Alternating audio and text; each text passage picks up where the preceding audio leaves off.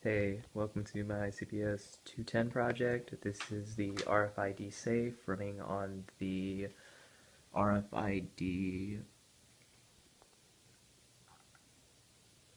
Hold on. RC522 chip. Um, runs off the Arduino Uno R3. And here's an example it working. As you can see, there's a green LED depicting the chest is opening. Um, we use, say, another card gives a red LED when it doesn't work.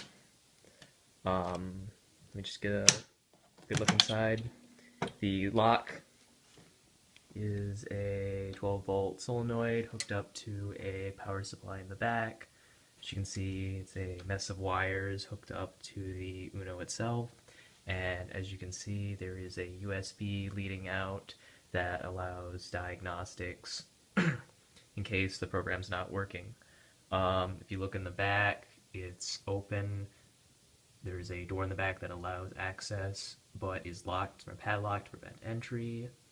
Um, there is an open outlet in the back that allows the charging of a single device. Um, this is just a proof of concept box. The since the box is made of cedar, it's not very sturdy. So if somebody really wanted to break in, they could.